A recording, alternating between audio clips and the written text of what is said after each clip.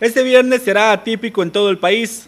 El famoso Viernes Negro parece ser una amenaza para la seguridad y el orden vial.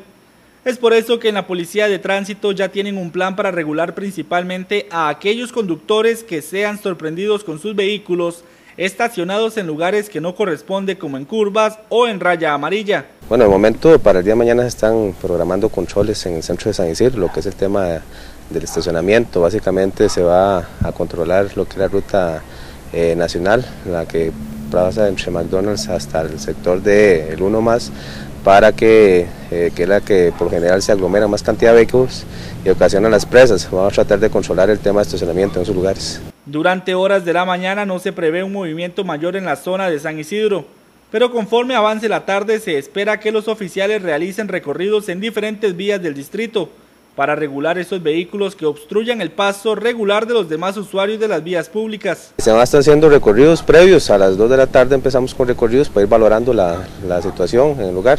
Ya una vez que este, se vea que hay una necesidad este, de poner lo que es conos y demás, ubicaremos ahí lo que son los señalamientos y mantendremos unidades en puntos fijos. De paso, hacen un llamado de prudencia a los conductores para que utilicen el transporte público en esta fecha y así no le dificulten el libre tránsito a los demás. Inculcar las buenas modales de estacionamiento.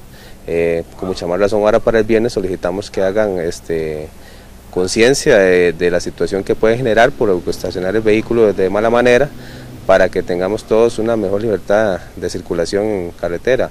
Para el día de mañana la recomendación básicamente es si pudieran este, trasladarse a un servicio público, ¿verdad? que lo utilicen para hacer las compras respectivas, no dejarlas para última hora, sino que ojalá este, hacerlas temprano y si es el caso que van allá los vehículos ubicarlos en lugares autorizados y que se estacionen de manera que no este, ocasionen eh, algún problema.